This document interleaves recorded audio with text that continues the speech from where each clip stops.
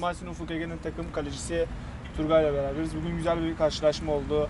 E, öndeydiniz. Rakip geriden geldi. Beraberliği yakaladı, yakaladı. Maçın sonlarına doğru kıran kırana geçti. Dostluk kazandı. Beraber bitti. Maç sonu görüşlerinizi alabilir miyiz? Maçın hakkı gerçekten beraberlikti. Kim yenilse yazık olacaktı. Açıkçası ben beraberliğe üzülmedim ama galip gelse güzel olacaktı. Ee, rakip takım gerçekten çok, e, herkes çok dikkat etti ikili mücadelelerde. Centilmen bir maç oldu. Zaman zaman sertlikler olsa da e, olabilecek şeyler maç içinde kaldı. E, önümüzdeki maçlar